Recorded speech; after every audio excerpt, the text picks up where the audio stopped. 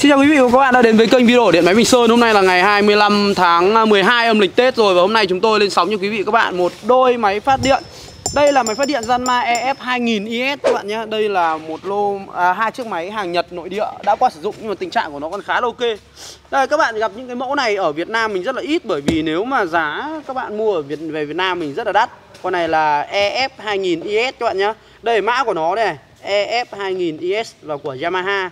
Chiếc này thì ờ, chạy công nghệ phát điện là của inverter và các bạn biết rồi inverter thì nó sẽ siêu êm, siêu cách âm chống ồn, rất là ổn định cái mạch điện của nó. Nhưng bù lại là khi mà hỏng mạch thì giá thay sửa chữa của nó rất là đắt và khó.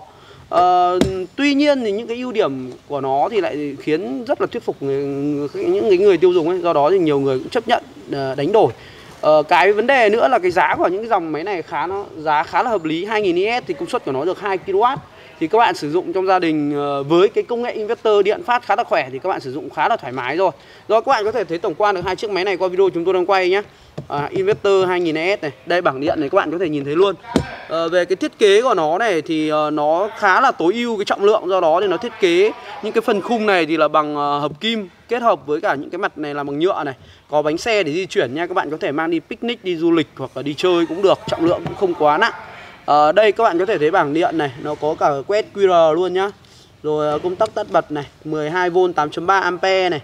Uh, tiếp đất này rồi các bạn có thể thấy được uh, cổng ra 100V 20A total là tổng nhá các bạn nhá và có thể chuyển được tần 50 60 Hz nên là nhiều bác mà lo ngại cái vấn đề tần số chạy nó không chuẩn của các cái dòng máy phát điện Nhật nội địa thì yên tâm Dòng này thì các bạn chạy qua cục một cục đổi nguồn 2000 ờ, thì là ra điện đủ luôn không bị tụt một tí nào. Nhiều bác rất là thắc mắc cái câu hỏi là cái dòng máy này chạy qua đổi nguồn nó có tụt không không nhá các bạn nhá. Một số cái dòng máy mà cuốn đổi nguồn thì có thể bị tụt, còn một số dòng cũng không bị tụt. Đấy là tùy theo từng loại thì chúng tôi sẽ báo cụ thể chi tiết ở từng video.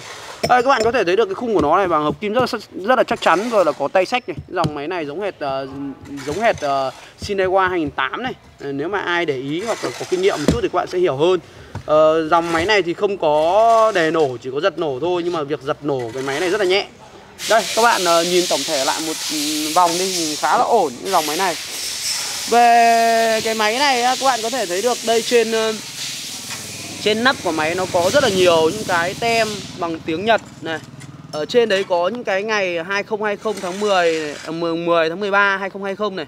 Thì những cái này nó chả nói lên được cái gì cả các bạn nhá. Cái này có thể theo tôi là cái ngày kiểm định hoặc là ngày bỏ ra bãi hoặc thế nào thế nào đấy chứ không bao giờ có chuyện những cái lô máy này sản xuất năm 2020 đâu. Đấy là điều không tưởng các bạn nhá. Đây 10 WK30 đây là khuyến cáo nhớt khi các bạn sử dụng này. Các bạn có thể sử dụng những cái nhớt Cell Advan hoặc là nhớt uh, uh, Catech thì uh, với cái với cái nồng độ với cái thông số nhớt là 10 WK30 thì nó sẽ uh, phù hợp với máy hơn rồi các bạn đi ra đằng sau một chút thì các bạn nhìn thấy đối với những cái dòng máy này nhá, nó thiết kế cách âm chống ồn do đó là cái tiếng máy rất là êm.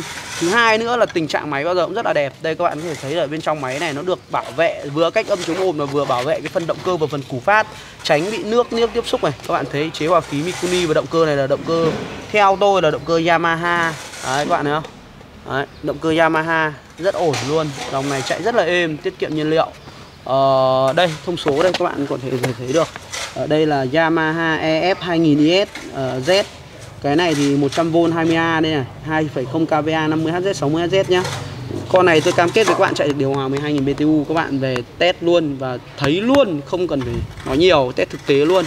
Đấy, có 12V 8.3A đây 2000 IS này điện 100V thì tất nhiên rồi chỉ Nhật mới xài điện 100V thôi nên là các bạn yên, yên tâm về cái chất máy.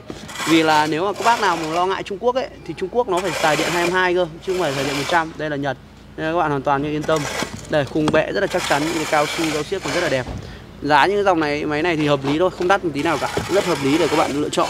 Đây bên này có một con nữa nhưng bên này chúng tôi không tháo ra bởi vì lại vậy luồn. Đây có một con ốc đây mình chưa tháo ra. Đây các bạn xem.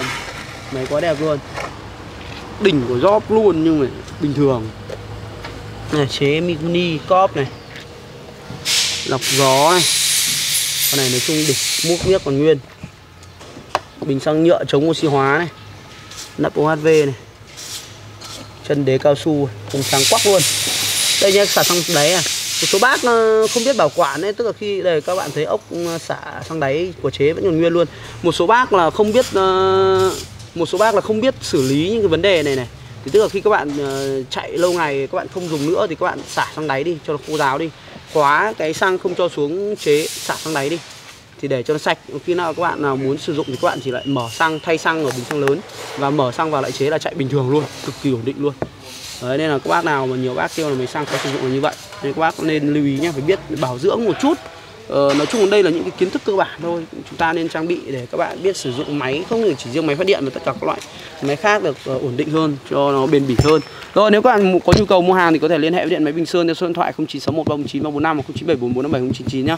Những số điện thoại chúng tôi sẽ để ngay dưới phần hot uh, dưới màn hình luôn để các bạn tiện theo dõi nhất có thể. Uh, nếu thấy video này hay vùng like subscribe nhé những cái chiếc máy này giá khá là rẻ thôi loanh quanh đâu đó tầm 9 triệu cho đến 9 triệu rưỡi một chiếc 9 triệu rưỡi một chiếc nha các bạn nha. Nếu các bạn muốn mua thì có thể liên hệ điện máy Minh Sơn Investor 2 kg giá như này là rất hợp lý rồi. Rồi một lần nữa thì cảm ơn. Xin chào, hẹn gặp lại quý vị các bạn ở những video sau.